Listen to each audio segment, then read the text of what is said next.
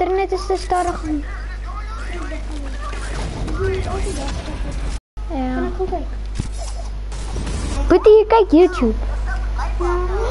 Gaan af van YouTube af.